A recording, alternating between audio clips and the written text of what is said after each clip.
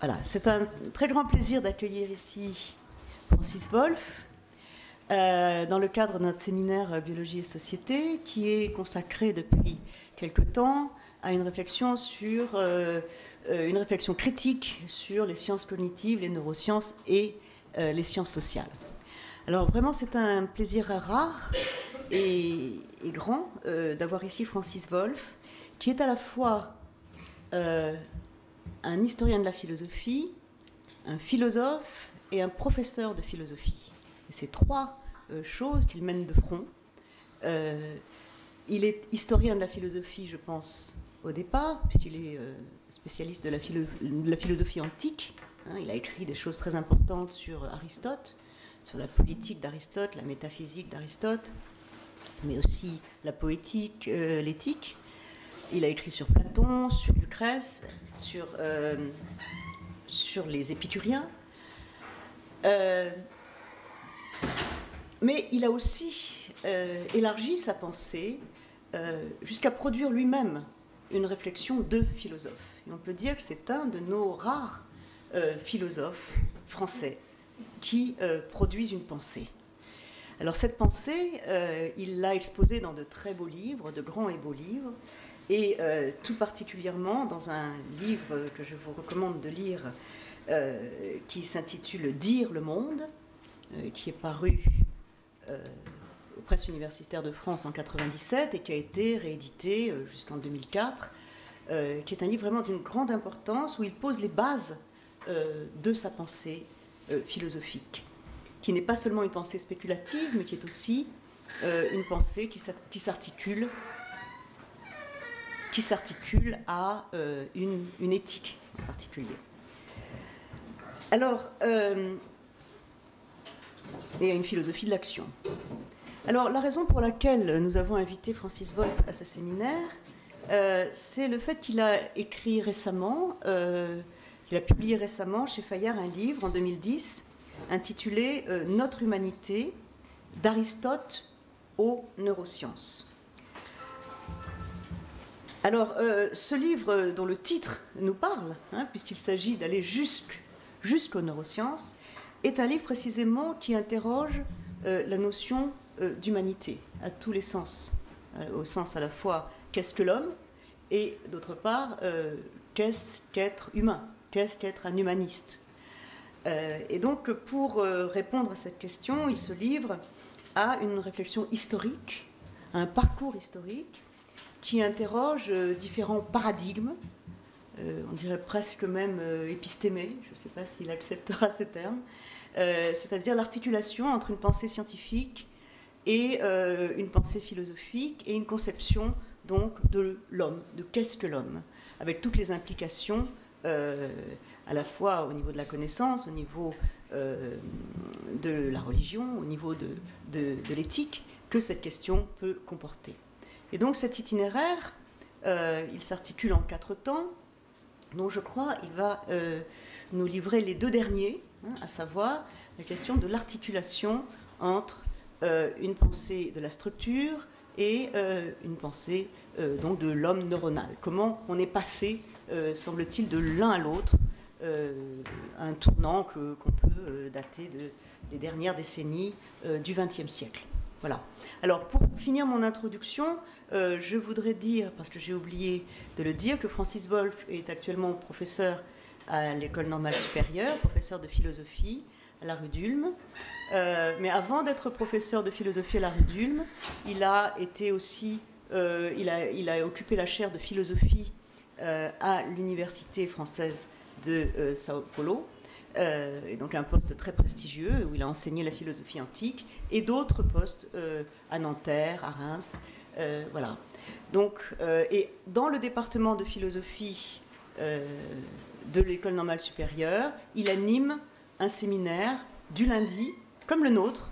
Nous avons l'extrême chance de l'avoir aujourd'hui. C'est le seul lundi qu'il a de disponible. C'est pour ça que nous avons déplacé notre deuxième lundi du mois en premier lundi du mois.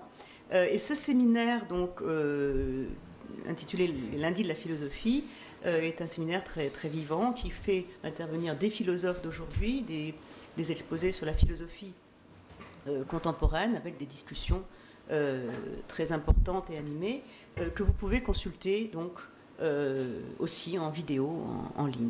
Voilà. Donc je laisse la parole à Francis Paul. Merci Claudine Cohen de cette présentation. Merci aussi Henri Atlan de cette invitation et de sa présence. Euh, en effet, c'est le seul lundi qui était disponible et je suis désolé que ça ait entraîné quelques bouleversements dans l'organisation de ce séminaire, puisque en effet, j'anime ordinairement euh, moi-même un séminaire le lundi, mais de 5 à 7. Mais ça faisait un peu court pour recourir à 5 heures, même si euh, c'est pas très loin la rue Bulle. Alors, en effet, je vais commencer par vous infliger non pas un résumé du, livre dont Claudine Cohen vient de parler. Voilà, notre humanité, je fais comme dans les avions, vous savez, euh, l'hôtesse de l'air qui montre. Voilà. Donc, euh, je vais euh, vous donner un aperçu, non pas des 400 pages de ce livre, mais peut-être de ce tableau, de ce système de cas de figure que j'ai entrepris dans ce dernier livre L'idée conductrice euh, de cette réflexion, c'est que l'apparition euh, de toute nouvelle apparition d'un nouveau champ d'objectivité connaissable, connaissable scientifiquement, est rendue possible par une conception implicite de l'être humain. Aussi bien le sujet de la science que l'objet euh, de la science. Et les quatre figures que je détache ne sont pas évidemment quatre définitions euh, de l'homme qui, à certains égards, euh, seraient plus importantes que toutes les centaines d'autres qui ont pu être énoncées, mais c'est parce qu'elle me semble que chacune d'entre elles est associée à un tournant épistémologique majeur, des sciences humaines des sciences pardon, naturelles pour les deux premières, je vais m'en expliquer, et des sciences humaines et sociales pour les deux suivantes. Alors très rapidement, ce que j'appelle les quatre figures de l'humanité, c'est d'abord euh, la définition euh, aristotélicienne euh, de l'homme comme un vivant doué ou doté de logos, raison, langage, dont j'essaie de montrer qu'elle est liée que cette définition est indissolublement liée à la science naturelle ancienne telle que Aristote l'a définie et qui permet, jusque très en avant dans notre histoire, la classification des êtres naturels, des êtres vivants. La seconde définition qui m'intéresse de l'homme, c'est euh, celle de Descartes, substance pensante étroitement unie à un corps, dans la mesure où J'essaie de montrer à quel point elle est liée à la révolution scientifique de l'âge classique, la physique mathématique, parce que cette définition, si je puis dire, oppose radicalement le corps qui définit l'objet connaissable de la physique, des corps mobiles, mathématisables, dans lesquels ont disparu toute trace de spiritualité, notamment les causes finales, toute trace d'esprit, et d'un autre côté, la pensée, totalement immatérielle, qui peut être ainsi un pur sujet de connaissance. Donc euh, le sujet et l'objet de la physique mathématique me semblent euh, appelés par cette définition de Descartes et euh, les conséquences qu'on peut en tirer. Alors, un bond, là encore, dans l'histoire, parce que ça n'est pas de l'histoire évolutionniste, c'est plutôt un, c'est plutôt un système euh, de figures.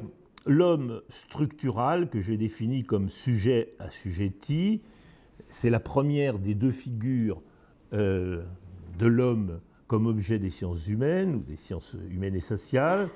Il est assujetti à des structures, à des conditions sociales, à des désirs inconscients, à une culture. Euh, et il a permis, en particulier dans le XXe siècle français, euh, un formidable développement de la psychologie, de la psychanalyse, de la sociologie, l'anthropologie culturelle, la linguistique, etc. J'y reviendrai. Et la quatrième figure, c'est euh, le paradigme cognitiviste, n'est-ce pas? L'homme, appelons-le neuronal, défini d'une manière indistinct, d'une certaine manière comme animal comme les autres, ou vivant comme les autres, mais j'y reviendrai là-dessus. Homme, disons, déterminé par ses gènes, dépendant des performances de ce cerveau, et euh, vivant, adapté à son milieu, et sur lesquels se fondent d'actuels programmes naturalistes de connaissance de l'homme. J'y reviendrai. Alors, dans ces quatre figures, ce qu'elles ont de commun, c'est, et j'en ai fini avec ce, enfin presque fini avec ce, j'ose à peine appeler ça un résumé, euh, ce, tableau, euh, c'est que les quatre réponses philosophiques à la question qu'est-ce que l'homme? prétendent à la fois fonder des théories scientifiques, d'une part, les quatre dont j'ai parlé, quatre tournants scientifiques absolument majeurs, et d'autre part des normes morales ou sociales. J'aurai très peu le temps, sauf en conclusion, de faire allusion à ces dernières.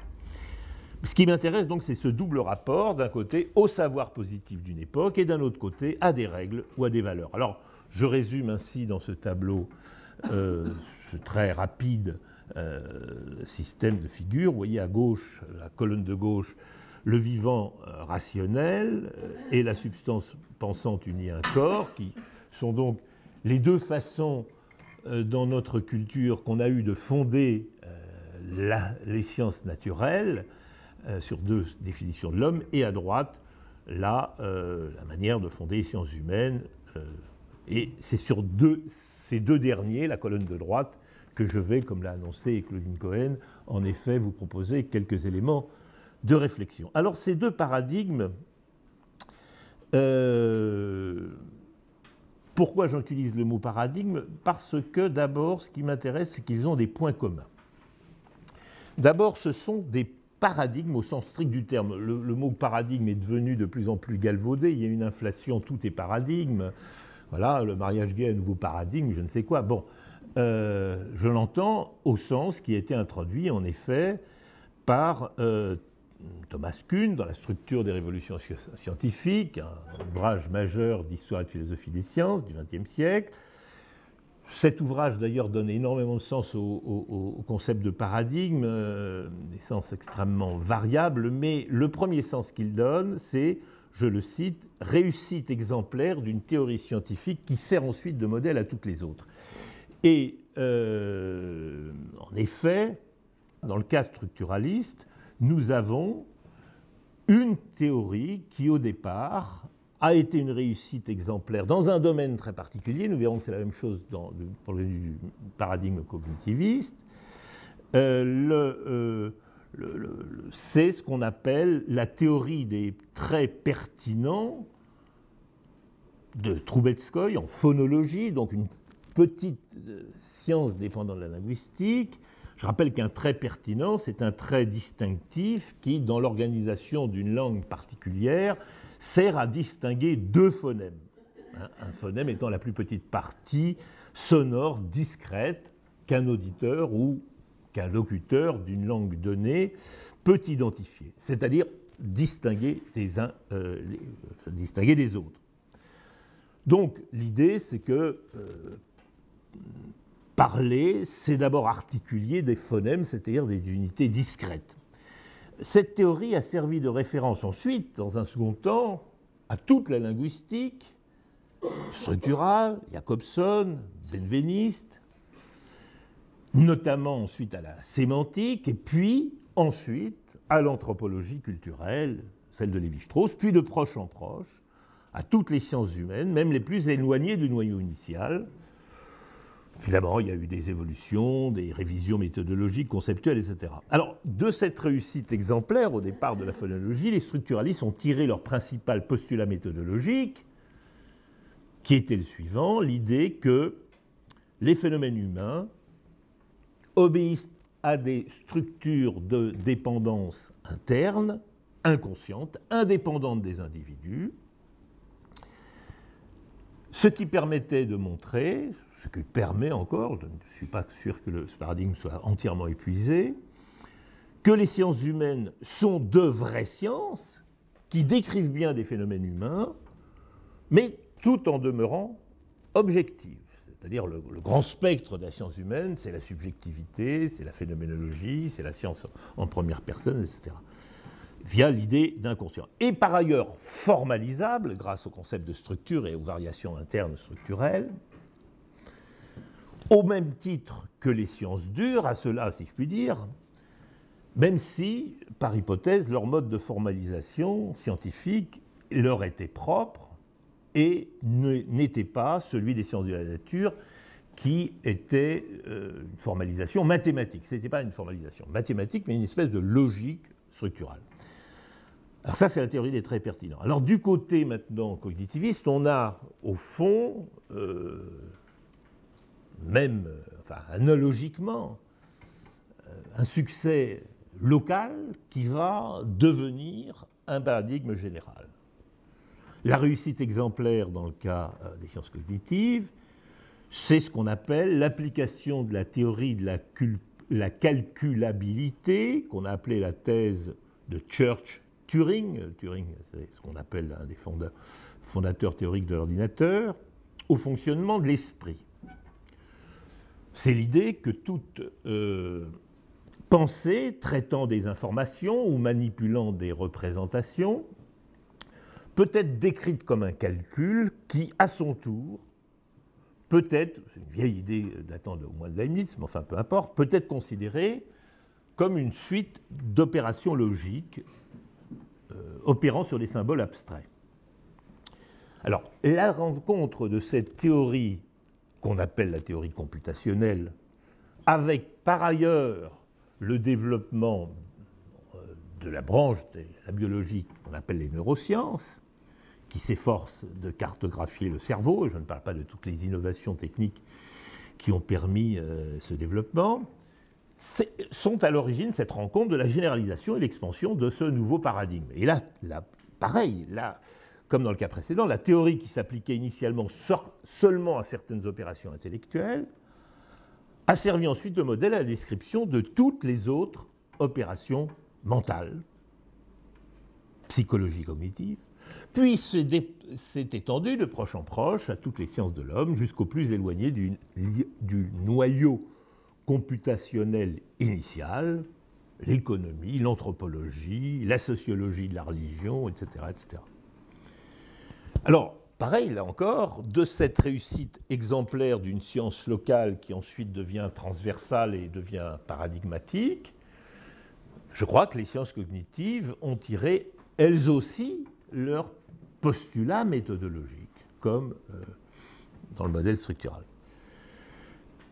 Euh, quel est ce euh, postulat méthodologique ben, C'est que les phénomènes mentaux sont une, espèce particulière des phénomènes naturels, bien entendu. Alors, le modèle computationnel leur permet au fond de résoudre, mais d'une toute autre façon, mais le même défi que le modèle structural. Évidemment, encore une fois, c'est tout à fait opposé, mais répondre au même défi. Rappelez-vous, la première objection qu'on fait aux sciences humaines pour être sciences, c'est qu'elles ne sont pas formalisables. Et le second, c'est que celui qui est opposé généralement aux sciences de l'esprit, en l'occurrence, ici, c'était l'alternative qu'on appelle behavioriste, décrire les comportements de l'extérieur, alors, on fait l'objection traditionnelle, c'est où vous pénétrez dans la boîte noire de l'esprit, et dans ce cas-là, vous faites, euh, bah, vous faites de l'introspection, de la phénoménologie, vous déscrivez ce que dit le sujet, etc. Vous abandonnez la position objective, vous vous faites abstraction de l'esprit et vous vous en tenez au comportement observable des agents.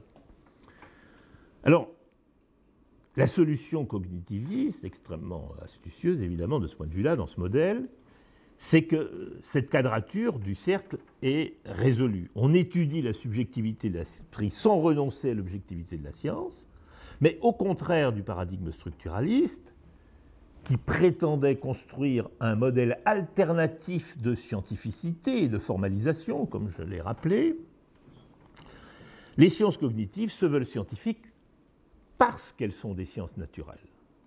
L'esprit doit être abordé avec les méthodes des sciences de la nature. Et ensuite, le rôle des philosophes, j'y reviendrai tout à l'heure, passe au second plan, ce qui est bien naturel dans le domaine scientifique. Alors, le second point commun, c'est, qui se déduit du premier, comme, comme tous les autres d'ailleurs, c'est que ça devient forcément un programme essentiellement interdisciplinaire. Ce qui est d'ailleurs une autre exigence de la notion de paradigme cunien. Dans le cas du structuralisme, c'est par un espèce de mouvement d'expansion qui voit des pans disciplinaires entiers adopter des concepts ou des principes méthodologiques nés de la linguistique, et plus particulièrement de la phonologie, de là à constituer une confédération de disciplines embrassant l'ensemble des sciences humaines, ce qui ne signifie évidemment pas que toutes les disciplines ou tous les courants euh, du monde entier se soient reconnus ou ralliés à ce paradigme. Mais c'est inversement que ce paradigme a pu déterminer, lui, des programmes de recherche spécifiques dans toutes les disciplines. Alors, euh, voilà donc euh, l'expansion progressive à toutes les sciences de l'homme. Ah, évidemment, il y a une science humaine qui a été euh, résistante et rebelle au modèle structuraliste, même dans nos contrées euh, françaises, c'est l'économie. Il n'y a pas eu d'économie structurale. Pourquoi bah, Pour une raison évidente, le modèle dominant en économie de l'homo economicus, je simplifie à l'extrême des choses euh, connues par ailleurs, hein, mainstream économique, c'est le mot economicus qui agit toujours rationnellement afin de maximiser son intérêt individuel, n'est évidemment pas compatible avec un homo structuraliste tel que je l'ai esquissé. Hein. Le homo structuraliste, on va le voir, il ne sait jamais ce qu'il veut, il est illusionné sur ses désirs, il est trompé par ses croyances, il est déterminé par des forces qui lui échappent, il est abusé par la violence symbolique, il agit toujours en contradiction avec ses propres intérêts. Bon, c'est pas euh, c'est pas le même homo, si je puis dire. Euh, homme. Alors, de la même façon, euh, il y a un programme interdisciplinaire qui s'est euh, développé dans le paradigme cognitiviste. Pas de la même façon, évidemment. Dès lors qu'il a quitté le programme cognitiviste, le sol natal de l'informatique et de l'imagerie cérébrale, pour entraîner euh, dans son sillage la plupart des sciences de l'homme, il s'est défini d'emblée, ce n'était pas une confédération, c'était par définition qu'il était un programme interdisciplinaire. Neurosciences, psychologie, logique formelle, linguistique, etc. L'interdisciplinarité, dans ce cas, était au principe et n'était pas une conséquence d'une espèce de colonisation du modèle. Et dans la mesure où le paradigme, je vous l'ai dit, est naturaliste, l'interdisciplinarité est dans ce cas bien plus large que dans le modèle structuralisme, un paradigme structuraliste.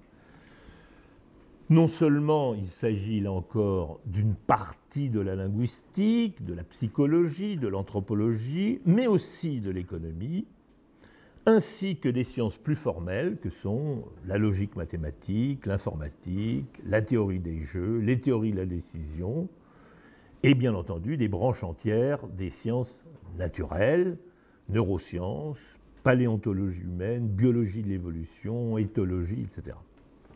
Si vous voulez, pour simplifier, je dirais que le paradigme cognitiviste rallie moins que le structuraliste du côté des disciplines, appelons-les littéraires, narratologie, poétique, rhétorique, hein, c'est peut-être ce qu'a été le Kral il n'y a pas si longtemps, théorie de la littérature, etc., mais plus du côté des disciplines dites scientifiques. Alors là aussi, vous avez euh, une exception, une science rebelle qui ne rentre pas dans le schéma, c'est évidemment, euh, hein, comme, dans le cas précédent de l'économie, bah, c'est la psychanalyse. Euh, les raisons sont, symétriques. Les deux figures de l'homme, là encore, sont incompatibles. L'appareil psychique tel que le conçoit la psychanalyse est irréductible à l'esprit au sens des sciences cognitives, mind. Euh, l'un est déterminé par des désirs, l'autre par des informations ou des représentations. L'appareil psychique est sous-tendu pour les... Euh, psychanalystes ou les théoriciens par des représentants inconscients des pulsions. Mind, l'esprit, est constitué par des états mentaux représentant intentionnellement, au sens de la relation d'intentionnalité, des états du monde. D'un côté, on a un sujet divisé, hein, toujours contre lui-même, je l'ai rappelé à l'instant, toujours en conflit avec lui-même. D'un autre côté, on a au contraire un esprit-cerveau, toute la question étant évidemment de savoir ce que signifie cette identité, esprit-cerveau, qui est un et le même dans toutes ces opérations. Donc, ici, on a une science là aussi rebelle. Mais à part ça, euh, on a un modèle ou un paradigme qui fonctionne bien, la pensée, mind, cerveau, quel qu'en soit le support, que ce support soit biologique, comme dans notre cas, qu'il soit humain même, qu'il soit animal, qu'il soit artificiel, eh bien, cette pensée, au fond, est la même. Et les diverses disciplines échangent à partir de là, euh, dans ce modèle, différents concepts, différentes méthodes, différents modèles, pour trouver euh, tout au long de ce carrefour disciplinaire des concepts comme représentation, gain adaptatif, calculabilité, connexion, etc. Et vous avez des nouveaux programmes de recherche qui sont déterminés par le paradigme, c'est ça, sa fécondité, psychologie évolutionniste, biosémantique, neuroéthique, etc. Troisième euh, point commun entre euh, ces euh, différents, ces deux paradigmes, par ailleurs, que je vais opposer ensuite, bien, ça s'est accompagné à chaque fois d'un fort soutien d'un courant philosophique ou d'un moment philosophique, pour parler comme mon collègue euh, Frédéric Worms. Du côté du structuralisme, surtout dans sa variante euh, française, il est bien connu que le structuralisme a été non seulement contemporain, mais il a été euh, en quelque sorte porté pendant quelques décennies par ce qu'on a appelé le moment philosophique des années 60, celui de Foucault, les mots et les choses, l'archéologie du savoir, même euh, directement euh, celui d'Althusser avec le concept de coupure épistémologique, celui même de Granger, Gilles Gaston Granger, qui euh, à certains égards peut, a été dans un tout autre style, si je puis dire, des penseurs de la structure, plus lointainement de Deleuze, Derrida, l'écriture à la différence, la grammatologie, et euh, pour donner un... Évidemment, il n'y a pas de programme commun entre ces différents penseurs, ces différents philosophes. Euh, ils étaient souvent euh, fort polémiques les uns avec les autres, peu importe. Mais il y avait quand même un air de famille. Et je dirais, il y a un thème qui traverse ce moment de la philosophie euh,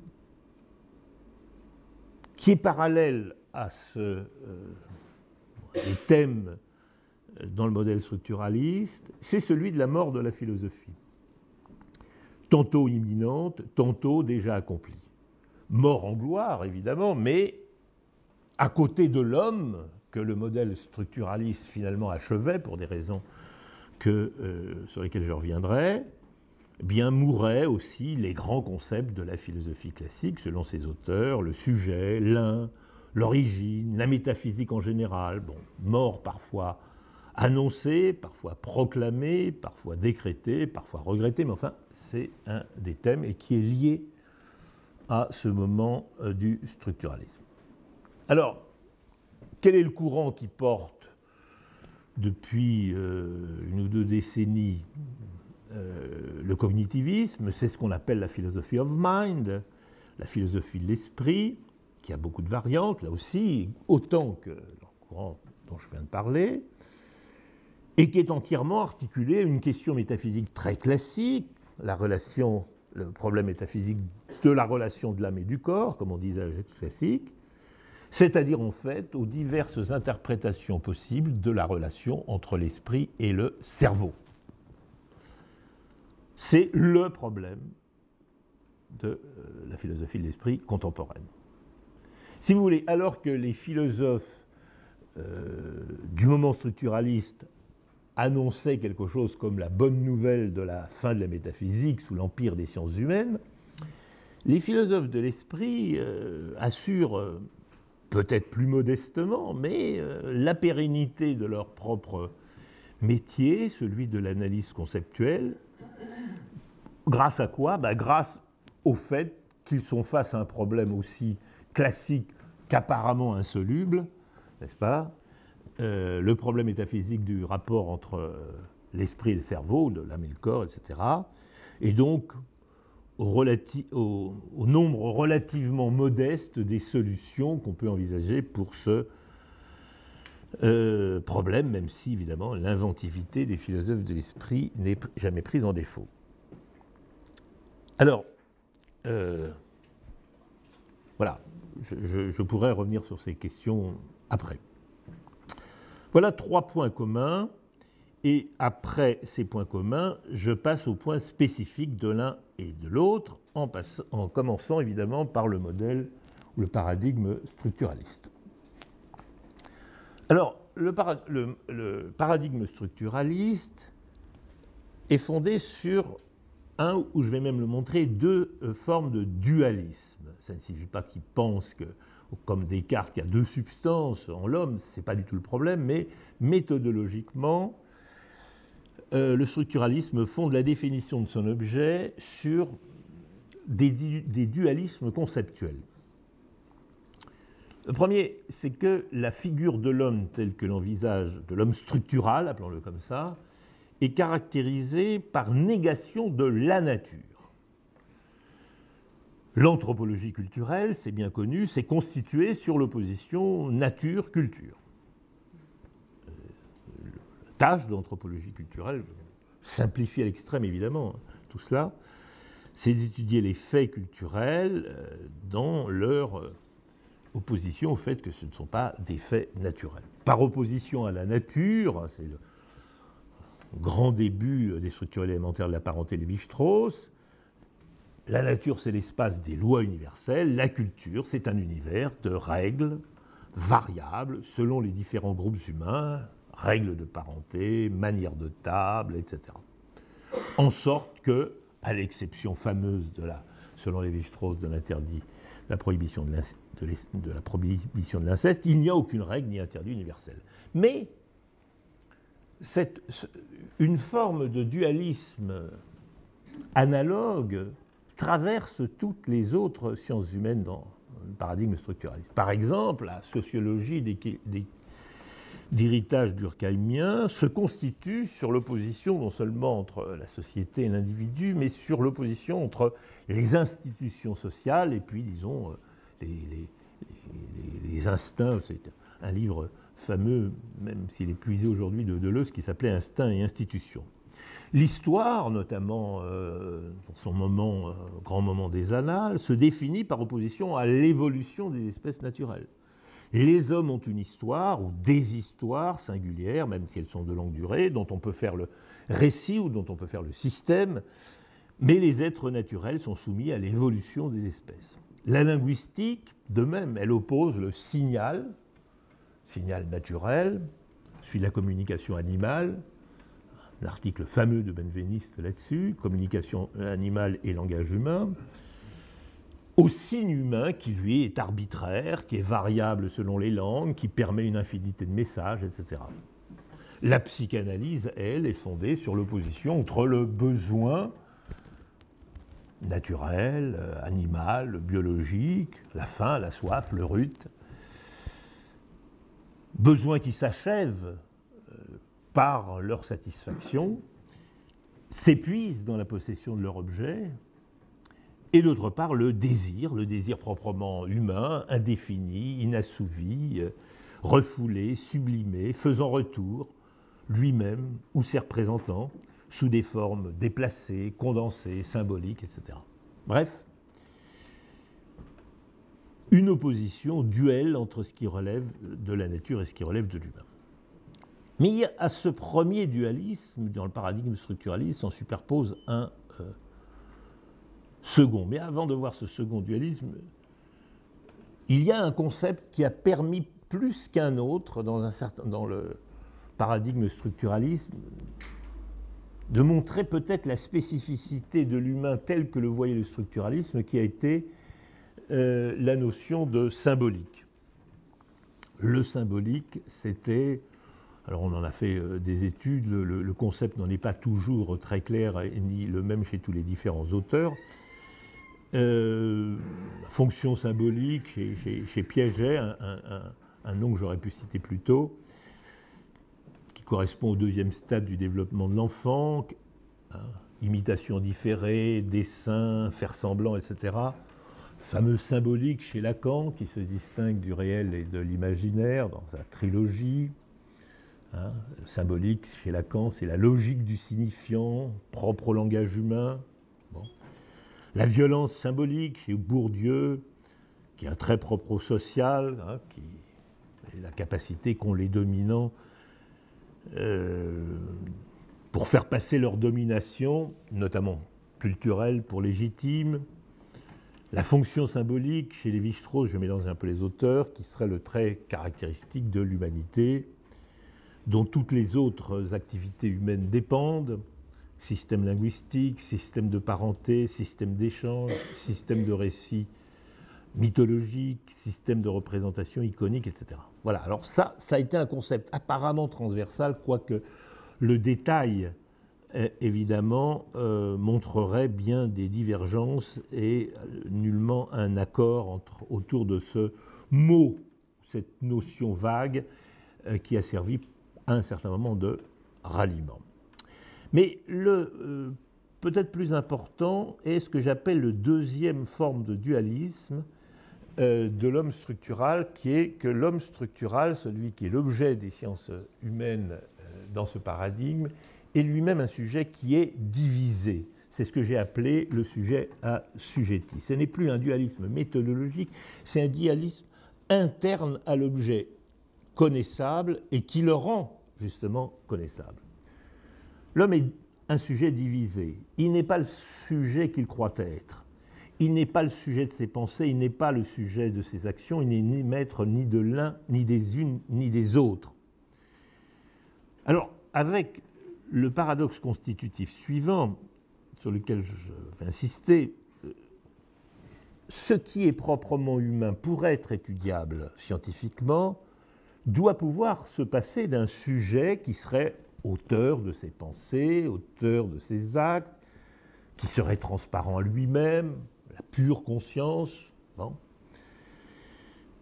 Donc ces sciences doivent étudier des productions, des produits qui en un sens sont typiquement humains. Et ce qui va faire que c'est typiquement humain, c'est qu'il y a de la conscience, c'est qu'il y a du sujet, c'est qu'il y a des agents qui s'en revendiquent les auteurs, les moteurs. Par exemple, une liste presque au hasard, l'apprentissage, le suicide, les rites, les techniques artisanales, le système phonétique des langues, le rapport signifiant-signifié, les sacrifices, les dons, les règles de mariage, les luttes de classe, la circulation des marchandises, les rêves, les lapsus, les névroses, la mémoire épisodique, etc. Alors tout ça, c'est des productions qui supposent l'existence d'une conscience, mais dont elles posent ces sciences. Ces sciences posent justement qu'ils doivent pouvoir s'expliquer sans recourir à cette conscience. Autrement dit, euh, ces sciences doivent se donner des objets qui n'existent pas sans conscience, ce ne sont pas des objets naturels, c'est le premier dualisme, mais refuser à la conscience la position de sujet à laquelle elle prétend. Il faut à la fois donc penser des faits humains, non naturels, qui donc supposent un sujet, sans quoi ces sciences perdraient leur statut de sciences humaines, mais refuser de euh, les expliquer, ces phénomènes, par les sujets auxquels on les rapporte ou qui s'en croient les auteurs. Sans quoi, elles perdraient leur statut de science pour devenir simplement description des euh, attitudes, des opinions, euh, des sujets. Voilà la voie étroite sur laquelle doit s'engager toute science humaine. Ménager l'humanité de son euh, objet et l'objectivité scientifique de sa méthode. Alors il y a un concept qui est central, même s'il n'est pas toujours explicite dans le, modèle, dans le paradigme structuraliste, c'est le concept d'illusion. L'illusion, ce n'est pas un défaut à corriger, ce n'est pas un vice à combattre, c'est la condition nécessaire du bon fonctionnement de ce qui est proprement humain. L'histoire devra étudier, par exemple, l'homme tel qu'il est en fait devenu, mais par opposition à ce qu'il imagine être de toute éternité. La sociologie devra montrer que son être véritable lui échappe, n'est pas tel qu'il le croit, mais tient, par exemple, à des structures indépendantes de lui, la parenté, le groupe social, la classe, les rapports sociaux, etc. La psychanalyse, ce sont des désirs inconscients qui sont au centre de la vie psychique, etc. Autrement dit, c'est un, euh, homme dont la conscience n'est pas simplement le lieu d'un manque, l'ignorance. C'est évident que toute science euh, vise à combler une ignorance, d'un défaut, l'erreur, mais dont la qualité proprement positive et pas négative est d'être abusée. C'est cette illusion qui permet les productions psychiques, linguistiques, sociales, historiques, culturelles, etc. En somme, tout ce qui est humain et qui est scientifiquement connaissable. Donc la conscience, je le répète, ne peut pas être l'objet de la science parce que la science courrait le risque de ne répéter ce que dit, ce que pense, ce que croit la conscience, mais pourtant, elle ne peut pas se passer de la conscience, car à quoi reconnaît-on qu'on a affaire à des, à des, phénomènes humains et non pas naturels? Sinon, le fait que derrière ces phénomènes, il y a une conscience pour s'en croire ou s'en dire l'auteur. C'est dans cet écart entre le sujet lui-même que réside l'illusion constitutive de l'homme structural. Alors, je passe au paradigme cognitiviste. Vous allez voir en quoi il s'oppose, ces choses sont connues, mais c'est de les systématiser. Premièrement, par opposition au dualisme qu'on a vu dans le modèle structuraliste, nous avons dans le paradigme cognitiviste un monisme naturaliste. Même position méthodologique, explication naturaliste, même présupposé métaphysique, le monisme matérialiste, esprit égal cerveau, d'une manière ou d'une autre, le, le, signe égal étant évidemment toujours à penser, même figure de l'homme, celle d'un vivant comme les autres, fruit de l'évolution, adapté à son milieu. La cognition est un phénomène naturel. Toute pensée manipulant des représentations peut être décrite, je l'ai déjà dit, comme un calcul. Voilà donc le euh, premier point qui est essentiel. De là, de la même façon que nous avons vu que l'homo structuralisme va être défini euh, d'une certaine façon à partir du postulat du dualisme, l'homo, l'homme, l'homo neuronal ou l'homme, l'homme du modèle du paradigme cognitiviste, va être défini par ce que j'appelle le franchissement des trois frontières. La caractéristique principale de l'homme neuronal, c'est son indétermination. On sait de moins en moins bien ce qu'il faut entendre par homme. C'est ce que j'appelle le franchissement des frontières. L'homme est, dans ce modèle, sans limite définie. Je veux dire par là, il est d'abord au sens diachronique. Je ne veux pas rentrer trop dans les détails à côté de Claudine Cohen euh, sur ce point-là, mais naguère on se demandait encore ce qu'il en était d'un ancêtre commun de l'homme considéré en général et du singe. La euh, question semble perdre progressivement de sa pertinence. Du côté diachronique, on a là de multiples hommes euh, dont le rapport, à tous les sens du mot rapport, entre eux est problématique et dans lesquels les frontières, par définition, sont et doivent demeurer floues et vagues. Euh, et je reviendrai sur cette notion. mais le second, euh, la seconde frontière qui est franchie, et qui doit l'être, c'est non plus celle qui sépare l'homme de ses ancêtres, la frontière est, je veux dire, c'est des confins plus qu'une frontière, mais celle qui sépare l'homme de son autre, l'animal, contraire du modèle structuraliste qui est fondé sur des grandes oppositions homme et animal. J'ai rappelé tout à l'heure instinct, institution, nature, culture, euh, besoin, désir, euh, histoire, évolution, etc. Sous l'empire du vivant, cette barrière semble de plus en plus fragile. Et c'est ainsi que se défend progressivement. Il n'y a pas de semaine qui passe sans que les librairies et les bibliothèque soit remplie d'un nouveau, d'une nouvelle euh, annonce selon laquelle il n'y a plus de frontières nettes entre l'homme et l'animal, etc. Ce qui est intéressant, il y a beaucoup de choses qui sont intéressantes là-dessus, là-dedans évidemment, c'est que le concept d'animal lui-même devient quelque chose d'extraordinairement flou et pas simplement le concept d'homme.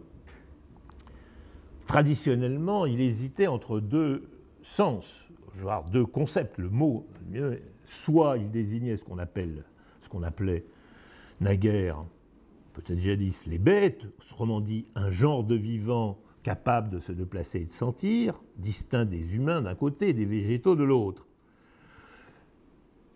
qui eux-mêmes ne sont capables que de se reproduire. Soit il embrassait un grand groupe incluant évidemment entre autres l'espèce humaine, autrement dit, soit d'un côté toutes les espèces distinctes de l'homme, soit toutes les espèces dont l'homme. C'est sur cet équivoque, malheureuse ou heureuse, j'en sais rien, du concept, repose l'actuel succès de l'usage du mot. Et c'est en tout cas cette ambiguïté qui est à l'origine des questions plus ou moins claires. L'homme est-il un animal? N'est-il qu'un animal? Est-il seulement un animal? Est-il un animal comme les autres? Etc. Donc, en fait, euh, ni l'un ni l'autre des sens classiques du mot animal ne semble pertinent. Le premier sens, la bête, parce que le genre homo comprend des espèces fossiles. Le second, parce que l'animal, euh, c'est-à-dire la bête, disparaît pratiquement du langage, l'animal biologique lui-même, on dit plutôt les métazoaires, euh, et il n'habite plus les classifications phylogénétiques admises. Peu importe. En tout cas, dans le modèle cognitiviste, la frontière devient, mais doit devenir, c'est constitutif, forcément floue. Troisième euh, frontière qui est franchie, la frontière de l'individu psy, si je puis dire, les sciences psy, et la collectivité, les sciences sociaux quelque chose. C'est celle qui sépare l'homme de lui-même, l'homme individuel de l'homme social. Traditionnellement, dans une grande tradition des sciences humaines, en tout cas, qui a culminé dans le paradigme cognitiviste, euh, structuraliste, pardon, il y avait des sciences de l'homme centrées sur l'individu, les sciences psy quelque chose, et les sciences centrées sur les communautés humaines, les sciences sociaux quelque chose social ou historique. Il y a toujours eu des frontières de part et d'autre de la frontière, mais il y avait cette frontière. On admettait en outre que l'étude de l'homme, considérée non plus individuellement ou socialement, mais en tant qu'espèce, en tant qu'espèce, c'est-à-dire dans lequel cette distinction disparaît, ne relevait pas des sciences humaines proprement dites, parce qu'elle ne portait pas sur ce qu'il y a de proprement humain, les faits de l'esprit en général, ou de la culture, mais ce qui relève de sa nature animale. Or, la nouvelle figure de l'homme bouleverse cet équilibre épistémologique admis. C'est précisément parce qu'on le considère en tant qu'être naturel, comme l'ancienne anthropologie physique, juste dans ce qu'il a d'humain, l'esprit, la culture, qu'on peut réunifier les deux autres pans de l'étude de l'homme, le mental et le social. Par exemple, les nouvelles théories de la religion ou de la, culture qu'on trouve chez euh, Pascal Boyer, Richard Dawkins, Dan Sperber, dans lesquelles euh, la distinction entre l'individu et la société ou le collectif perd, position méthodologique, perd ce sens. Il y aurait une quatrième frontière dont je ne parle pas, mais qui est essentiel, c'est qu'il y a franchissement, là aussi paradoxal, de la frontière séparant le vivant de l'artificiel. C'est-à-dire, ça c'est euh, l'origine euh, computationnelle du, modèle, fait qu'on peut, évidemment, certains ont l'espoir, d'autres la crainte, n'est-ce pas, qu'il y ait un franchissement de la machine à l'homme qui puisse être dépassé avec euh, éventuellement les choses autour du transhumanisme, posthumanisme, etc. Je ne développe pas ce point. Je voudrais juste une seconde revenir à modèle, euh, à mon système initial, dont vous vous souvenez peut-être, les quatre figures, et euh, j'aboutis à ce système euh, dont je vais dire un mot. Donc, je vais retrouver mes quatre figures, la centrale, et j'ai montré que quand l'homme est défini en termes monistes, animal comme les autres, animal dualiste, ou en termes dualistes, le sujet assujetti, le modèle structural, c'est la colonne de droite. Alors, vous voyez que j'ai ajouté euh, deux appellations de colonnes entre les deux colonnes centrales qui constituent, à mon sens, les grandes révolutions dans l'histoire des sciences naturelles et les deux paradigmes euh, des sciences humaines. Ce que j'ai ajouté, c'est que les modèles des sciences humaines, euh, pardon, des sciences euh, naturelles supposent une conception de l'homme qui est essentialiste et les deux autres une conception qui est non essentialiste. Voilà donc, à mon sens, un nouveau point commun sur lequel je vais dire quelques mots. L'anti-essentialisme des deux figures des sciences de l'homme. Qu'est-ce que j'entends par anti-essentialisme? Ben, que je dis très simplement, L'essentialisme, c'est le fait traditionnel qu'on a depuis l'Antiquité jusqu'au XVIIe ou XVIIIe siècle, le fait que l'homme est définissable comme ayant une essence qui a deux caractéristiques, comme toute essence. Elle est universelle et elle est invariable. Elle est universelle, elle est parfaitement déterminée, donc euh, voilà, elle englobe un certain nombre d'individus avec les frontières claires, et par ailleurs, elle est invariable, elle est fixe, etc. Alors il y a deux manières d'être anti-essentialiste selon que vous êtes dans le modèle cognitiviste ou dans le modèle structuraliste. Dans le paradigme structuraliste, la supposée essence de l'homme n'existe plus, elle est dissoute. C'était un des grands thèmes, y compris des philosophes. Il n'y a plus d'homme, il n'y a plus de sujet, etc. Pourquoi? Parce que de l'homme en général, il n'y a rien à connaître, il n'y a rien à dire. Ce qui serait commun à tous les hommes, dans ce modèle-là, ne serait pas proprement humain. Ce serait un simple donné naturel. Les sciences humaines, dans le modèle, euh, dans le paradigme structuraliste, se méfient par exemple de l'opposition euh, de la distinction du correct et du déviant, toujours suspect d'essentialisme justement, toutes les langues sont également langage. La grammaire euh, n'est pas une norme, mais un usage. Les sociétés sont toutes également sociales, de la tribu jusqu'aux grands empires. Les sexualités euh, sont toutes naturelles, sans qu'aucune ne le soit, puisqu'elles sont toutes culturelles, elles sont toutes sociales, elles sont toutes historiques. Toutes les cultures se valent sous l'œil de l'ethnologue, de l'anthropologue, elles sont toutes également cultures par opposition à la nature. Bref, je dirais que la supposée essence de l'homme éclate en propriétés diverses et incommensurables. C'est pourquoi il n'y a pas de science de l'homme avec un grand H. L'essence humaine éclate en propriétés, l'inconscient, l'historicité, la transmission culturelle, éducatives, les pratiques rituelles, etc., qui ne peuvent ni s'unifier ni s'ajuster. Chaque discipline détermine donc, selon ses propres méthodes, les propriétés proprement humaines qu'elle considère comme essentielles, mais qui ne s'ajustent pas aux autres. Ce qui est essentiel aux yeux du sociologue, par exemple l'origine sociale, sera tenu pour inessentiel, en tout cas euh, sous le même rapport aux yeux du psychologue. Tel autre trait essentiel aux yeux de l'ethnologue, par exemple le mariage entre cousins croisés, n'est qu'accidentel pour la psychanalyse, etc., etc. Et finalement, la conclusion de tout ça, c'est que la réalité de l'homme, avec un grand H, bah, n'existe pas parce qu'elle est en deçà de l'homme. Ce qui est en deçà de l'homme, c'est les cultures, les sociétés, les milieux, les formations de l'inconscient, les langues, etc., etc. Voilà la forme de l'anti-essentialisme propre au paradigme structuraliste. Ne pas croire qu'en dépit des apparences, le paradigme cognitiviste sera plus accueillant à l'essence de l'homme, à quelques exceptions près, mais il va être anti-essentialiste, ou il est anti-essentialiste pour des raisons tout à fait opposées.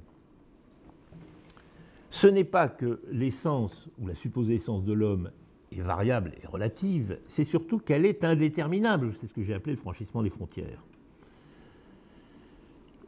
C'est moins la constance, l'invariabilité de l'essence qu'elle refuse, euh, que refuse ce modèle, que la, ce qu'on peut appeler la déterminité, puisque il n'y a plus de frontières. On ne peut jamais différencier clairement ce qui est humain proprement de ce qui ne l'est pas. Où commence l'homme et où finit l'animal, où commence la culture, la société, le langage, où finit la nature. Qu'est-ce qui est exactement homo, homo sapiens, sapiens, etc. Frontière absolue entre humain et non-humain. Les limites de l'humanité sont objectivement vagues. Donc, la réalité de l'homme, cette fois-ci, n'est pas en deçà de l'homme, elle est au-delà de l'homme dans l'esprit en général, qu'ils soient incarnés dans des êtres naturels, voire dans des êtres artificiels, pourquoi pas, machine, ordinateur, ou encore dans l'animal en général, mais où ça s'arrête, là aussi ça n'est pas clair, ou dans le vivant en général pour certaines autres fonctions, voire la psychologie évolutionniste par exemple. Alors, euh, maintenant, euh, je reviens à mon tableau initial. Donc on a vu en quoi elles sont toutes les deux, euh, les deux colonnes dans la colonne de droite, anti-essentialistes. Maintenant, je vais montrer pour terminer en quoi, dans la ligne du haut, le monisme naturaliste du modèle cognitiviste n'est pas du tout un naturalisme classique tel qu'on trouvait dans l'Antiquité ou qu'on trouvait dans très longtemps, le naturalisme par lequel on étudiait l'homme comme un être naturel, et pourquoi le dualisme du modèle euh, structuraliste n'est pas un dualisme classique non plus tel qu'on trouvait chez Descartes? Alors, je commence par le modèle ou le paradigme structuraliste. Pourquoi ce n'est pas un dualisme euh, pourquoi ce n'est pas un dualisme classique, tel qu'on le trouve dans la science classique, chez Descartes, etc. Ben D'abord parce que ce n'est pas un dualisme métaphysique qui divisait l'homme en deux essences. Là, le dualisme structural le divise entre ce qui en lui relève de l'essence, si je puis dire, ou relève de la nature, et d'autre part ce qui est proprement humain, et qui ne relève d'aucune essence. La deuxième différence entre penser, une pensée connaissante et une nature connaissable, c'est que l'homme structural en superpose une autre, comme je l'ai dit, parce qu'il est lui-même divisé. Mais il est divisé, et c'est une précision que j'aimerais euh, ajouter maintenant, entre deux types d'objets de science. Car ce qui permet la division initiale, par exemple nature-culture, c'est pas seulement que la nature serait sans conscience ou inconsciente, tandis que l'homme exprimerait la conscience de ce qu'il est ou de ce qu'il fait dans sa culture, son histoire, sa société, sa langue, etc. Toutes manifestations qui en effet ne se peuvent pas sans conscience. Car si c'était le cas, il n'y aurait aucune distance épistémologique nécessaire à l'objectivité scientifique. Alors, il me semble que dans le modèle ou le paradigme structuraliste, il faut que la même distance la même division oppose non seulement pose dans l'homme les sciences humaines, c'est-à-dire dans l'homme, dans l'homme des sciences humaines, ce qui est sa part culturelle ou consciente, c'est-à-dire ce qu'il est, ce que seules les sciences peuvent mettre au jour, réellement, porter à la conscience, et ce qu'il croit consciemment être, c'est-à-dire la part de l'illusion.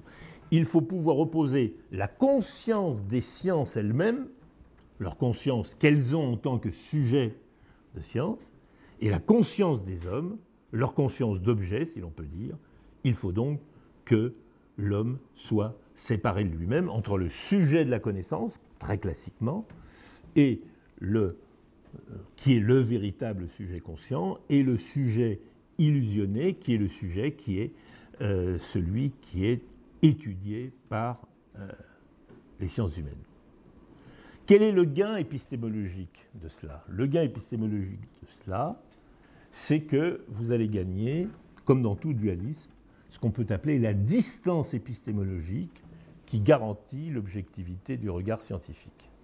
Par opposition à toutes ces sciences suspectes qui n'ont aucune distance objective, qui sont toutes ces sciences ou ces pseudosciences qui se contenteraient de se faire l'écho, je le répète, l'opinion ou de la conscience euh, des agents qu'elles étudient. Dans les deux cas, dans le dualisme classique comme dans le dualisme euh, structuraliste, la distance épistémologique permet l'objectivité scientifique. De la même façon que le regard, si je puis dire, euh, du sujet classique, substance pensante, euh, était garanti par le fait qu'il n'avait pour objet que des corps auxquels il était substantiellement et essentiellement euh, étranger, puisqu'il était substance pensante en tant que sujet de la connaissance. Et que ce qu'il avait à connaître, c'était des corps dans lesquels toute trace de spiritualité ou d'esprit avait disparu. De la même façon, la psychanalyse, la sociologie durkheimienne, la linguistique structurale sont face à l'homme, ou plutôt face au désir, aux faits sociaux, à la langue, comme le sujet connaissant est face à l'objet connaissable, objet aveugle, qui ne peut se connaître lui-même parce qu'il est conscient de ce qu'il désire, de ce qu'il fait, de ce qu'il dit, et inconscient des causes réelles, intention, volonté, vouloir dire. Euh, il n'a conscience que de ses raisons d'agir, je le répète, intention, volonté, vouloir dire, qui ne sont pas les causes réelles de l'agir, celles que la sociologie, la psychanalyse, la linguistique peuvent mettre en évidence. Alors, passons maintenant au paradigme, pour terminer, au nouveau naturalisme du paradigme cognitiviste. Là encore, il se distingue de tous les naturalismes classiques. D'abord, parce que, comme je l'ai dit, c'est un naturalisme qui n'est pas essentialiste. Pourquoi il n'est pas essentialiste? Parce qu'il est évolutionniste. Il repose sur une, biologie évolutionniste et non pas fixiste. Le naturalisme antique, médiéval, classique, était essentialiste parce qu'il se fondait sur une biologie fixiste, les espèces sont fixes, elles sont définies par leurs frontières, celui-ci est anti-essentialiste, c'est le Premier point d'opposition. Le second point d'opposition, qui se déduit du premier, c'est que l'objet de la science, dans le paradigme cognitiviste, est, si je puis dire, naturalisé parce qu'il n'est pas un donné proprement naturel. On lui retire toute prétention à l'homme d'occuper une position, une situation privilégiée dans le monde, qu'elle soit centrale ou seulement particulière il est un vivant adapté à son milieu, adapté plus ou moins bien, puisqu'il y a un retard toujours entre l'évolution naturelle et euh, euh, le moment de son évolution, etc., réel. Bon. Toujours, même conséquence, pas d'essence, du fait que l'homme n'a pas d'essence fixe. Et troisièmement, la grande différence avec les naturalismes classiques, c'est que l'homme antique, par exemple, était le modèle à partir duquel on devait comprendre le vivant en général, l'animal d'abord et le vivant en général, qui obéissait au même schéma qu'on appelait le schéma ilémorphique, forme dans une matière euh, qu'on trouvait d'abord dans le rapport euh, euh, âme-corps chez l'homme et qu'on projetait ensuite sur l'ensemble des vivants, et ceci pendant toute l'Antiquité, Moyen Âge, etc. Dans le paradigme cognitiviste, c'est l'inverse. L'homme est tenu pour un vivant, mais ce n'est pas afin d'expliquer les autres vivants, c'est afin que les autres vivants puissent l'expliquer lui. Pour les sciences, dans le modèle naturaliste contemporain, les facultés de l'homme ou ses expressions prétendument les plus élevées, conscience, intentionnalité, langage, société, moralité, religion, sont réductibles à des propriétés du vivant. Modèle réductionniste. Si je puis dire pour caricaturer, alors que la science antique, médiévale et classique humanisait la nature, l'homme est modèle, la nature est objet, la science contemporaine naturalise l'homme, la nature est modèle, l'homme est objet.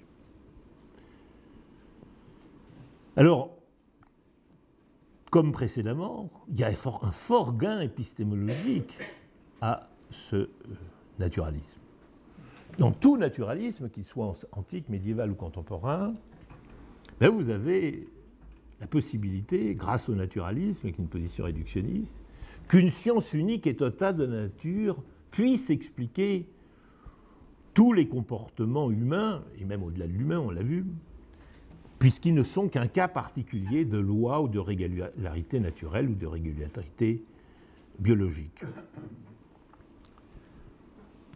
C'est en réalité, petite parenthèse, il y a derrière tout naturalisme ou tout réductionnisme le rêve évidemment impossible d'une science naturelle réunifiée. Euh, dans l'Antiquité au Moyen Âge, il y avait une limite, c'est que vous pouviez unifier euh, l'ensemble des vivants terrestres mais euh, dès lors que vous passiez à l'explication euh, du céleste, le mouvement euh, des astres, mouvement du ciel, etc., il fallait passer à un autre type d'explication. L'astronomie ne relevait pas de la science de la nature au même sens que tous les vivants qui sont sur Terre. le réductionnisme contemporain se heurte à une autre frontière, non plus une frontière vers le haut, si je puis dire, une frontière vers le bas. C'est que ce modèle réductionniste, il s'arrête au bios, il s'arrête à la biologie. Vous ne pouvez pas redescendre d'un degré en deçà, pour le dire d'une façon brève. Vous n'expliquerez jamais les phénomènes humains, même avec un modèle ultra réductionniste, comme par un mouvement de, quarks et d'électrons ou de bosons de Higgs. Chacune des sciences, la grande coupure, euh, c'est la coupure physique-biologie, même si ça n'est plus la coupure classique euh, de euh, la physique et euh, de l'astronomie, par exemple. C'était une parenthèse. Alors j'aboutis, et je vais bientôt conclure, je m'aboutis à un tableau final, qui est le tableau final dans lequel mes deux figures, animal comme les autres et sujet assujetti, sont réintégrés dans les tableaux intermédiaire que j'avais présenté. Selon que vous définissez l'homme en termes essentialistes, vous avez la première colonne, et vous avez un gain épistémologique qui se trouve en bas de la colonne. C'est que vous pouvez ainsi fonder une science de la nature. Soit vous allez définir comme pourquoi? Parce que vous avez, vous avez un sujet clair qui est euh, l'homme qui est, au fond, extérieur à cette nature étudiée. Soit vous allez le définir en termes non essentialistes, c'est-à-dire vous n'allez pas pouvoir le définir à proprement parler, ce qui va vous permettre de fonder des sciences de l'homme, c'est euh, ce que vous allez étudier là, qui n'a pas d'essence à proprement parler. Soit dans le modèle euh, du bas, le sujet, sujet parce que ce que vous étudiez est en deçà de l'homme, soit dans le modèle du haut, animal comme les autres, parce que ce que vous étudiez est au-delà de l'homme. C'est l'esprit, c'est le, le vivant, c'est l'animal. Mais vous avez là aussi un gain épistémologique. Dans un modèle moniste, vous avez toujours tous les gains du réductionnisme épistémologique. Les gains sont considérables. D'ailleurs, l'histoire des sciences progresse toujours par un réductionnisme. Par réductionnisme, c'est l'histoire des sciences physiques, c'est l'histoire des sciences euh, biologiques, etc. Même si elle n'aboutit jamais. Ce, rêve ne peut jamais aboutir parce qu'il y a toujours un déchet d'une science qui n'est pas intégrable, ou d'une ou d'un grand nombre de sciences qui ne sont pas intégrables dans, dans la réduction. Mais, évidemment, le monisme vous permet d'avoir un modèle transversal pour la nature et pour l'homme. Quant au modèle dualiste, il a lui aussi un gain épistémologique qui se trouve évidemment sur la deuxième ligne, enfin troisième ligne, que j'appelle la distance épistémologique du euh, sujet et l'objet. Plus vous avez une distance grâce à un modèle dualiste, plus vous gagnez sur l'objectivité de votre objet. Donc, bien entendu, ça n'est pas dans le même sens, je l'ai assisté, que euh, sciences naturelles et sciences humaines sont dualistes ou euh, sont monistes. Je conclurai enfin en disant que, comme tout tournant épistémologique ou méthodologique, ou comme toute figure de l'homme telle que je l'ai définie au début de cet exposé, euh, il n'y a pas que des fondements, il n'y a pas que des principes, il n'y a pas que des conséquences scientifiques ou épistémologiques. Il y a aussi on pourra en discuter, des conséquences morales et politiques. Euh, et euh, pour en revenir au livre dont je euh, parlais au début, une grande partie du livre est consacrée aux conséquences morales et politiques de ces quatre figures. Conséquences morales ou politiques, bonnes ou mauvaises. Je, je vais prendre juste deux exemples opposés. L'autisme. À l'époque de l'homme structural, en France, l'autisme était presque en France et dans les pays d'Amérique latine, était l'affaire essentielle de la psychanalyse. Selon d'autres, mais à l'intérieur du même modèle, c'était une maladie mentale cataloguée psychose. Le grand livre, c'était La forteresse vide de Bruno Bettelheim, avec son concept de mère réfrigérateur qui avait été emprunté à Léo Kanner, qui était celui qui était l'inventeur du, syndrome autisme infantile précoce. Les lacaniens, par exemple, avançaient divers concepts descriptifs ou explicatifs qui tous rapportaient l'autisme à défaut de la relation à sa mère, sont signifiés, on disait, ou carence de la symbolisation primaire, etc. Comme vous savez, une ou deux générations plus tard, à l'âge de l'homme neuronal, la haute autorité de la santé, la Fédération française de psychiatrie, qui se réfère désormais à la classification des maladies par l'OMS, qu'on appelle la CIM, a recommandé, depuis octobre 2005, il y a une nouvelle recommandation de considérer désormais l'autisme comme un trouble neurodéveloppemental. De même, en décembre 2007, la communauté européenne a défini l'autisme comme une pathologie d'origine biologique. Ce n'est pas un simple changement nosologique, ce n'est pas simple mutation épistémologique, c'est aussi un tournant éthique, comme le montre un certain nombre d'avis du, Conseil, du Comité consultatif national d'éthique, par exemple celui de novembre 2016, etc.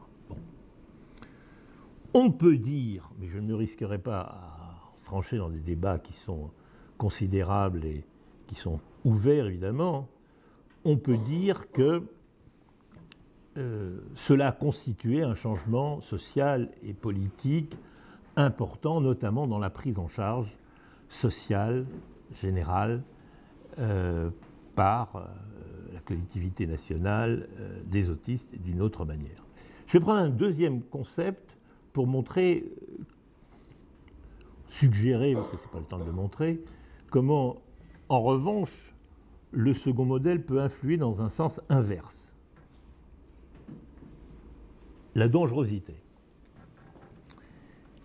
S'il s'agit de, normativité sanitaire, comme dans le cas de l'autisme, bah, je dirais qu'à tout prendre, euh, du point de vue des pures conséquences pragmatiques, euh, il vaut mieux euh, que ce soit considéré comme naturel. Pourquoi? Bah, Vaut mieux, si c'est votre cas ou le mien, vaut mieux que vous soyez tenu pour congénitalement handicapé que pervers, névrosé ou psychotique. On cherchera à vous aider plutôt qu'à vous guérir coûte que coûte, vous ou votre entourage. S'il s'agit de normativité sociale, je vous conseillerais plutôt d'être considéré comme pervers. Pourquoi? Parce que ça peut éventuellement se soigner, puisque ce que le milieu a fait, le milieu peut le défaire. Bon, ou pourrait peut-être le défaire. En revanche, si vous êtes considéré comme naturellement violent, violeur, pédophile, dans cette hypothèse naturaliste, nul ne peut espérer vous changer. Par conséquent, par quoi? Parce que c'est la nature en vous, vous êtes essentiellement ce que la nature a fait de vous, vous êtes irréversiblement dangereux. Or, cette notion de dangerosité est fort nocive. Je rappelle que le 25 février 2008, loi qui, quel que soit le gouvernement, ne change pas, la loi relative à la rétention de sûreté est venue s'insinuer dans ce qu'on appelle l'édifice libéral de la pénalité, puisqu'elle permet, pour la première fois depuis au moins euh, la Révolution française, de maintenir un condamné en détention après exécution de sa peine pour une durée d'un an renouvelable indéfinitivement au seul motif de sa dangerosité, notion qui n'a évidemment aucun sens pénal et qui n'a qu'un sens que si vous considérez que euh, c'est quelque chose que la nature, qui est dans votre nature, une nature qui peut se manifester en acte n'importe quand, euh, de façon indéterminée.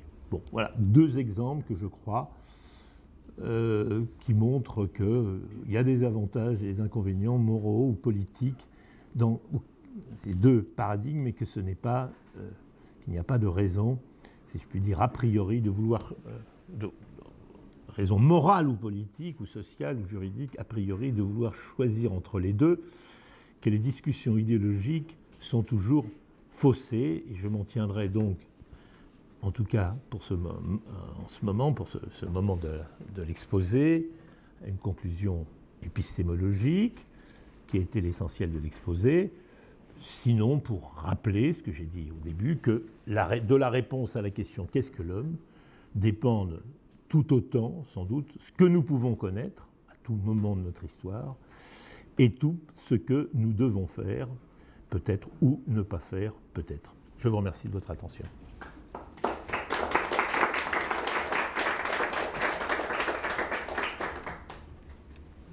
Beaucoup de ce très bel exposé qui nous a euh, euh, montré très clairement euh, les différences de ces paradigmes et nous a explicité les éléments de ce tournant épistémologique que nous-mêmes avons vécu au CRAL, par exemple, en passant de, oui, en passant de, du structuralisme de Genette ou de Todorov euh, dans les années 80 à euh, une vision qui intègre euh, donc ce, paradigme cognitiviste, par exemple dans les travaux de Jean-Marie Schaeffer. Alors, je vais laisser la parole aux autres personnes qui voudront la prendre, mais j'avais moi-même deux petites, enfin deux remarques ou deux questions. la première était que vous avez détaillé donc les analogies, les différences entre euh, ces façons de faire et ces façons de penser, euh, est-ce qu'il ne serait pas intéressant d'interroger aussi le contexte de, production euh, de, ces, de ces thèses et de ces modes de pensée? Je veux dire, le contexte qui peut être un contexte d'origine disciplinaire. Vous avez parlé des philosophes dans un premier temps, hein, Deleuze, Foucault, etc. et du point de vue des neurosciences, c'est plutôt des scientifiques que viendraient, qu'émergeraient, enfin, ces, ces, nouveaux concepts. Et puis, la question aussi du contexte disons, euh, géographique ou, nationale Est-ce qu'il y a des choses qui viendraient plutôt euh, de France ou d'Europe, euh, d'autres qui viendraient plutôt des États-Unis? Est-ce qu'il n'y a pas cette dimension à introduire dans ce, tableau que vous avez fait, évidemment, en quelques... à grands traits. En, très peu de temps, c'est difficile de le faire, mais est-ce que cette dimension ne peut pas avoir un intérêt pour vous? Je ne sais pas. Alors, oui, pardon. Et la deuxième question que je voulais poser, c'est la question de la temporalité ou du temps. Euh, comment, dans les deux cas, euh, euh, enfin, c'est une question, comment pense-t-on le temps, pense-t-on l'histoire? Vous y avez répondu en ce qui concerne donc les, neurosciences, l'évolutionnisme fait partie de cette vision de, l'histoire, et on sait que dans, l'approche structuraliste, il est très difficile de penser l'histoire. Alors est-ce que des deux côtés, il n'y a pas cette difficulté d'aborder justement la question de l'histoire? Merci. Alors je tente de répondre aux deux questions. Euh, vous avez raison, c'était. Euh, je suis un peu allé au bulldozer, c'était pour simplifier les, comment dirais-je, les, figures, afin de faire apparaître mieux leurs points communs ou leurs oppositions. Il faudrait évidemment nuancer, nuancer sans cesse, nuancer à l'infini. Et disons que c'est ce que je m'efforce de faire dans, euh, là où j'ai davantage euh, développé chacun de ces points. Ici, c'était euh, à titre un peu caricatural. Alors maintenant, pour répondre de façon plus précise à vos deux questions. La première est double, le contexte, contexte scientifique, origine et contexte national. Je commence par le contexte national. Est-ce que d'un côté, on a un modèle, euh, disons, euh, latin et un autre modèle qui serait anglo-saxon? C'est ce qu'il pourrait sembler. Euh, je ne suis pas entièrement convaincu, même si le structuralisme, ce qui en effet a été d'abord vécu en France dans les années 60 sur le plan philosophique et théorique, s'est développé depuis les années 30 dans la linguistique, euh, dans une linguistique qui était essentiellement euh, russe, euh, slave, etc., et qui ensuite, bien entendu, a trouvé peut-être ses fondements, son assise philosophique en France et dans les pays latins, puisque c'est vrai que au-delà de la France, c'est plutôt dans les pays d'Amérique latine, Espagne, un peu Italie, que ce paradigme s'est répandu et qu'il a assez peu touché, c'est vrai, les pays anglo-saxons. Euh, bon, enfin, l'homme neuronal est, euh, le fait d'un scientifique français. Euh, on pourrait évidemment trouver bien, de, bien des objections à, cette thèse. Et je rappelle que ni Jacobson ni Trubetskoy n'étaient français, etc. Bon, donc, avec des nuances, d'accord. Alors, sur l'origine, sur le contexte de production, euh, je ne suis pas tout à fait d'accord. Je crois que dans les deux cas, je l'ai dit, le point de départ a été euh, quelque chose de strictement scientifique, sauf que ce n'est pas venu du même science. Dans le cas du, paradigme structuraliste, c'est venu de la phonologie, puis, euh, donc dans les années 30, puis les structures élémentaires de la parenté, bon, alors c'est autour de la Seconde Guerre mondiale, euh, la philosophie, elle est venue beaucoup plus tard, euh, comme toujours. L'oiseau de Minerve, euh, c'est plus tard, donc ça a été le moment philosophique que appelé des années 60. Mais ils se sont fait l'écho de ce qui s'était passé ailleurs, en anthropologie et surtout en linguistique. Bon.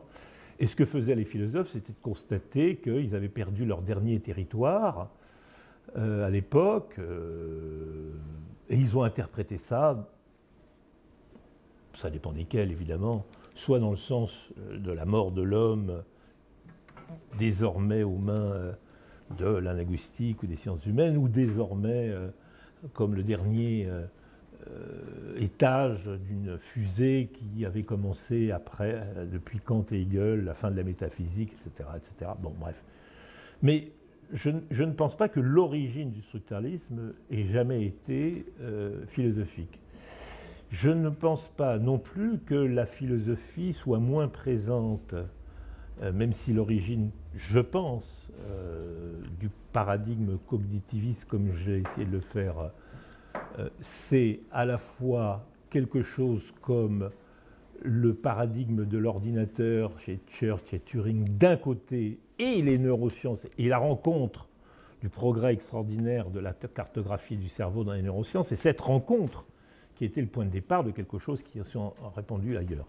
Je ne pense pas que les philosophes soient moins présents euh, derrière ou devant ou à côté de cette euh, révolution. Euh, il y a, et pas simplement dans les pays anglo-saxons, le thème essentiel des discussions philosophiques, je ne parle pas d'il y a 50 ans en France, mais aujourd'hui, y compris en France, c'est la question du rapport esprit-cerveau, c'est la question de, mind-body problem, comme on dit. voilà. Alors peut-être que pour diverses raisons, euh, qui ne sont pas toutes scientifiques, un certain nombre de philosophes français restent attachés euh, à la euh, philosophie d'il y a 40 ans ou 50 ans, mais je ne pense pas qu'à l'échelle globale, si je puis dire, la philosophie ait joué dans les deux cas un rôle bien différent. Quand, c'est-à-dire, elle est venue plus tard, elle est venue pour colmater les brèches, elle est venue pour essayer de penser les choses, elle est venue pour essayer de trouver des, euh, de penser les choses de façon ou plus globale ou plus locale. Plus globale pour la philosophie française, plus euh, philosophie associée à tort d'ailleurs au structuralisme, ou euh, plus locale pour le mind-body problem. temporalité étant, oui, vous avez tout à fait raison, temporalité étant, on a dans les deux cas une même difficulté, mais qui vient de présupposés tout à fait opposés le présupposé du structuralisme, c'est qu'il faut penser la structure, ce qu'on appelait la synchronie plutôt que la diachronie, et la diachronie échappait en grande partie au modèle structural. Euh, ce qu'on a en revanche euh, dans le paradigme cognitiviste, c'est euh, une hypothèse évolutionniste qui est, massive, bien entendu. Il n'en demeure pas moins que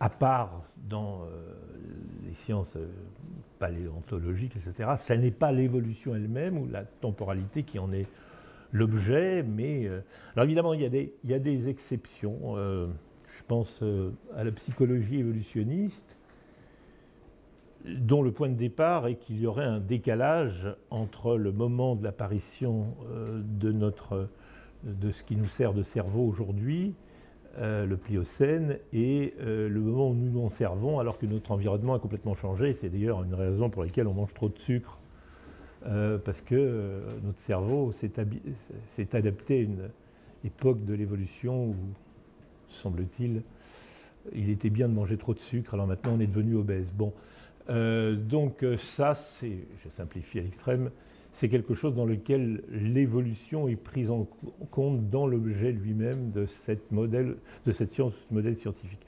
Mais c'est vrai que, euh, à part dans les franges proprement biologiques, ce n'est pas l'évolution qui, est, l'objet même d'aucune science. Je ne sais pas si j'ai répondu à vos préoccupations. Beaucoup, sans doute. non, écoutez, moi, je, D'abord, je, vous remercie parce que vous avez.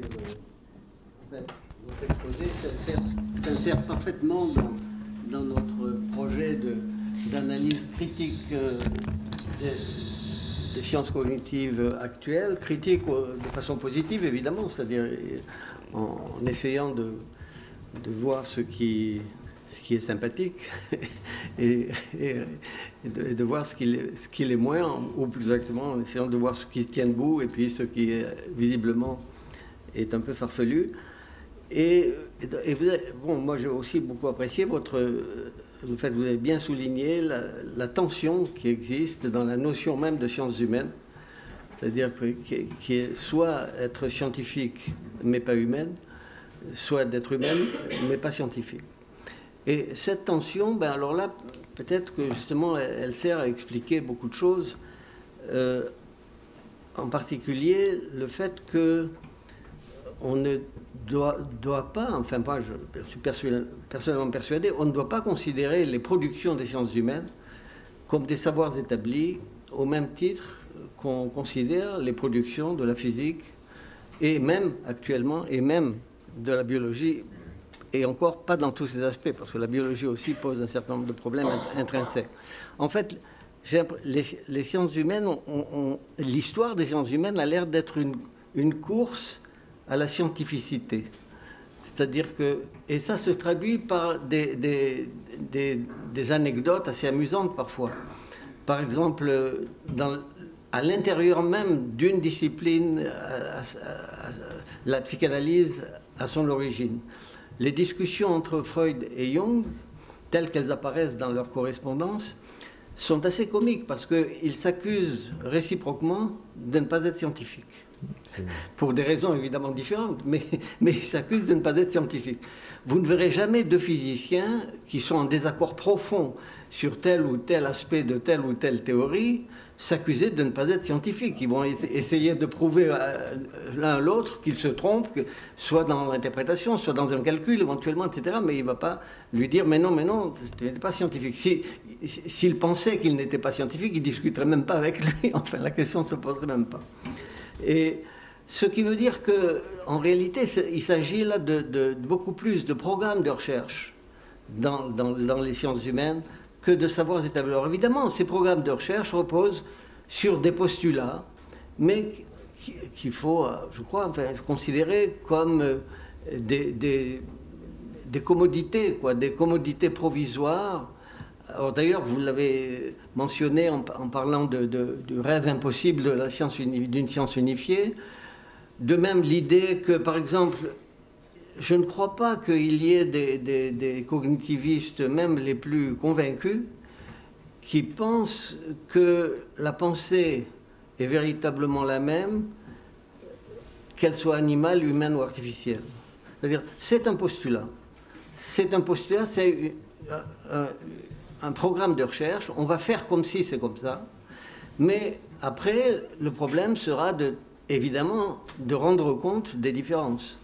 Bon, donc, euh, bon, c'est, autrement dit, c'est une technique euh, relativement. Ça ne veut pas dire, donc, autrement dit, je crois qu'on, précisément dans ce domaine-là, il est important de distinguer entre des programmes de recherche qui sont, comme vous l'avez bien souligné, en réalité des, des héritages, si vous voulez, de, d'options ou d'idéologies euh, métaphysiques anciennes. Bon, alors évidemment, moi, je regrettais que parmi ces options métaphysiques anciennes, il n'y ait pas celle d'un monisme qui ne soit pas que matérialiste, mais un monisme comme celui de Davidson, par exemple, d'un monisme anomique qui, s'inspire plus ou moins, à tort ou à raison d'ailleurs, de Spinoza. Euh, bon, parce que là aussi, enfin, ça, supprime pas mal de, faux problèmes. par exemple, le, monisme matérialiste, en effet, qui est alors le, postulat qu'on ne discute même pas dans les, dans les sciences cognitives actuelles, ben, finalement repose sur quoi? Eh bien, il repose sur une forme à peine un peu plus évoluée euh, du matérialisme ancien qui disait le cerveau sécrète la pensée comme le foie sécrète la bile. Bon, alors maintenant, plus personne ne dirait ça parce qu'évidemment c'est trop grossier. Mais maintenant, ben, on le dit d'une autre façon. On dit euh, ben, les états mentaux euh, sont produits ou identiques, plutôt produits d'ailleurs, par des états cérébraux mais dans un rapport particulier qui est un rapport de survenance, de supervenience. Mm. Or, ce rapport de supervenience, ben, évidemment, c'est ça tout le problème. En quoi est-ce qu'il consiste Mais bon, ça, ça ne fait rien. C'est présenté comme une explication, alors qu'en réalité, c'est quelque chose qui doit être expliqué. Bon, et ainsi de suite. Il y a aussi un, euh, un, élément très important, bon, si je m'arrêtais à tout, parce que c'est le, le, rôle de la modélisation, en réalité, dans, tout, dans toutes ces, ces, ces choses ce qui, s'explique aussi par le fait que dans ces sciences, comme dans toutes les sciences, alors pour le coup, eh bien, la plupart des, progrès ou des évolutions euh, sont des conséquences de, euh, de nouveaux outils. Bon, c'est tout. C'est-à-dire qu'il y a des outils, il faut, s'en servir. Vous savez, comme l'histoire du réverbère, c'est-à-dire on va chercher là où il y a la lumière. Donc euh, ben, là, les outils, ben, c'est d'abord l'informatique, les, la, facilité avec laquelle on peut faire maintenant des modèles d'informatique euh, assez sophistiqués. Et puis évidemment, bon, les techniques d'imagerie cérébrale, donc tout ça mis ensemble, ben, ça, ben, ce sont des outils. Alors une fois qu'on a des outils, ben, on les utilise. Après, reste la question de l'interprétation. Alors là, il faut pas... Alors c'est là où on peut se jeter à la figure éventuellement, ah oui, mais non, c'est scientifique ou ça n'est pas scientifique, ou c'est métaphysique ou ça n'est pas métaphysique, par exemple. Et, à nouveau, on retrouve un, ancien problème d'ailleurs qui, a émergé au moment de, des discussions sur l'intelligence artificielle. L'intelligence artificielle, alors bon, il y a la fameuse euh, opposition entre IA forte et IA faible. C'est-à-dire l'intelligence artificielle forte disait justement qu'un ordinateur comprenait ce qu'il faisait. Et l'intelligence artificielle faible disait non, un ordinateur ne fait que simuler notre compréhension des choses. Et la preuve, c'est que une simulation informatique, ça n'est pas la chose elle-même. On peut simuler la respiration, on peut simuler les battements cardiaques, on peut simuler le vol d'un avion, et ça ne va pas être le vol d'un avion, etc. À cela, les autres disaient, ah oui, mais quand le si on admet que notre façon de comprendre, c'est calculer, comme l'ordinateur calcule, eh bien, il comprend. Donc, cette discussion tournait en rond à partir, en effet, de quelle idée on se faisait a priori de ce qu'on pouvait. Donc, merci beaucoup pour souligner, je pense, enfin, tous ces points-là qui sont tout, à fait fondamentaux. Euh, peut-être si je peux répondre, à, pas, non pas répondre, mais compléter euh, vos remarques. Euh, la plupart d'entre elles sont des compléments indispensables à ce que mon exposé trop schématique n'avait pu que passer sous silence. Mais je pense qu'il y a un intérêt aussi des schémas, c'est de grossir les traits et j'espère, je, le répète, être plus nuancé euh, dans le détail des analyses. Alors, quatre ou cinq points que vous avez soulignés. Tension interne euh, aux sciences humaines, tout à fait d'accord. Il y a dans toute science humaine euh, la tentation, la, la, crainte, plus exactement, de deux trahisons possibles, où on trahit l'idéal scientifique, où on trahit son, son objet. C'est-à-dire on est, moins scientifique ou on est moins humain. D'une certaine manière, euh, depuis la naissance des sciences humaines au XVIIIe siècle, à la fin du XVIIIe siècle, il y a toujours eu euh, ces, deux craintes à l'horizon. Il y avait euh, toujours eu l'idée que, par exemple, pour être plus scientifique, il fallait introduire des mathématiques, par exemple. Euh, des modèles mathématiques où il fallait introduire du calcul, etc. Alors on a introduit des statistiques, mais on s'est aperçu que l'usage qu'on en faisait n'avait rien de mathématique. Bon, euh, enfin, il y a eu tout un tas de, manières. Moi, je, n'ai souligné que deux manières de résoudre, non pas de résoudre, mais euh, deux manières qui sont encore en conflit sous nos yeux, de résoudre cette tension entre scientificité et humanité. Euh, et il y en a beaucoup d'autres. Il y en a eu beaucoup d'autres. Mais il me semble qu'il y a un modèle qui, va culminer euh, dans le paradigme. Il y a une histoire qui culmine dans le paradigme euh, structuraliste. C'est que la notion de structure permettait d'échapper aux reproches habituels. C'est qu'on avait un moyen de formalisation qui faisait qu'on échappait à la subjectivité, apparemment. De la même façon, dans le cognitivisme, étant donné qu'on a quelque chose qui n'est plus les mathématiques, mais qui est soit l'informatique dans certains cas, soit euh, la biologie de l'autre, ou leur rencontre, ou leur rencontre la plupart du temps, on a quelque chose qui fait qu'on a une espèce d'assise apparente de scientificité. Et quant à, l'objectivité, bah, il fallait que ce soit humain. On était humain parce que seul l'humain est capable d'illusion dans le paradigme structuraliste. Dans le, dans le paradigme cognitiviste, je, crois qu'en dépit de ce que vous avez dit, et avec lequel je suis d'accord, c'est-à-dire que ça n'est plus le même esprit, ça n'est plus exactement le même esprit quand on passe de l'homme à l'animal, néanmoins on est dans le même modèle. Euh, on doit conserver euh, le même modèle. Et les aptitudes de l'esprit de l'un ou de l'autre ne sont jamais a priori déterminées. Alors, les travaux se multiplient pour montrer euh, ce qu'est la communication animale, qu'elle est beaucoup plus élaborée qu'on ne pensait, etc. Je ne vais, pas rentrer dans, ces détails. Mais alors, sur la querelle autour de la scientificité, vous faisiez remarquer que la correspondance entre Freud et, Jung montre qu'ils s'accusent mutuellement de ne pas être scientifiques. C'est vrai, c'est très curieux de constater, c'est pas simplement curieux, c'est l'histoire des sciences de, base, que euh, voilà, la, psychanalyse est née de la neurologie et elle s'en est euh, progressivement euh, écartée, que fondamentalement, Freud était moniste, c'est-à-dire qu'il pensait à la naturalisation, il espérait la naturalisation, il a souvent des modèles euh, des modèles biologiques, bon, dans, dans, le destin des pulsions, etc. Il espérait cette naturalisation, il pensait que la psychanalyse n'en était euh, qu'un stade euh, qui faisait qu'elle échappait à l'explication biologique. Mais l'histoire de la psychanalyse a sans cesse contredit Freud. C'est que progressivement, il s'est imposé un modèle dualiste, là où le fondateur voulait un modèle modiste que là où il cherchait un modèle de scientificité appuyé sur les sciences naturelles, bah, très souvent, la psychanalyse, notamment dans les pays latins, est devenue plus une discipline philologique ou littéraire, de commentaires de textes des, pères fondateurs ou des pères refondateurs ou re-refondateurs, euh, que euh, scientifique au sens où l'entendait euh, expérimental, expérimental au sens où l'espérait Freud. Euh, donc là, je parlais de la psychanalyse telle qu'elle était devenue, non pas euh, de toute éternité, ou telle qu'elle est, mais telle, telle qu'elle était, non pas non plus à l'origine, mais telle qu'elle était pensée dans le paradigme structuraliste. Alors, euh, deux dernières, enfin une dernière remarque, je veux pas.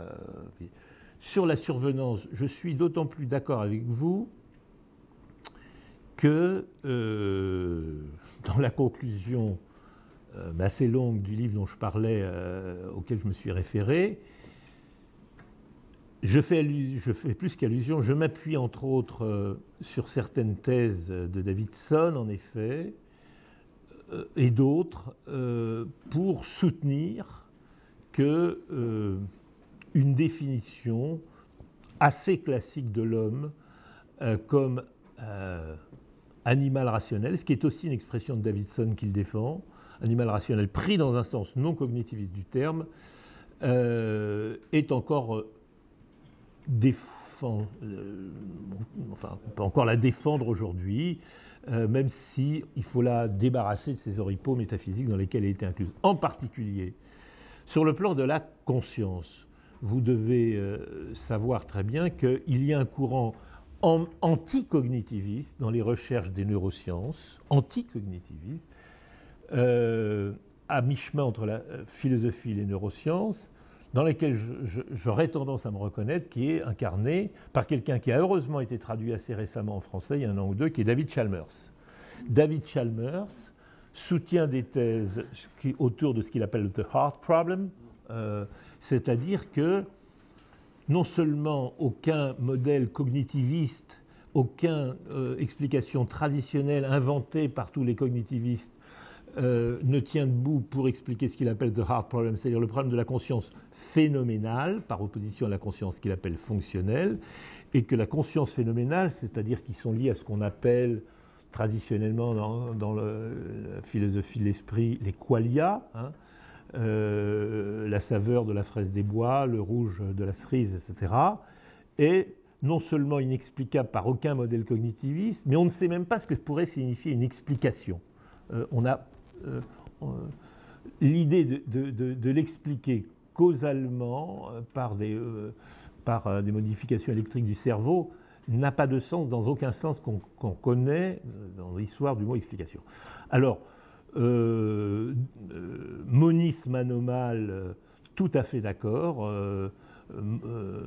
tradition spinoziste ou néo-spinoziste, il y a un livre très récent d'un philosophe américain qui n'a rien de la caricature du philosophe analytique tel qu'on le représente, qui n'est pas traduit en français, dont je me souviens plus du titre, mais qui est paru très récemment de Thomas Nagel, Thomas Nagel, qui défend lui aussi une thèse selon laquelle la conscience, et, qui est totalement naturaliste, mais anticognitiviste, c'est-à-dire qui pense qu'il y a des modèles possibles d'explication de la conscience, de l'esprit, de la rationalité, etc., qui échappent à toute réduction au cerveau et qui, néanmoins, peuvent très bien être naturalistes dans un sens élargi du terme.